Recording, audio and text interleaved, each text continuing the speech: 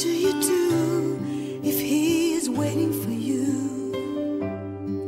You're not ready, you're not ready to take a chance again. You seem scared to find a lover again. Made a mistake once before, can't afford to make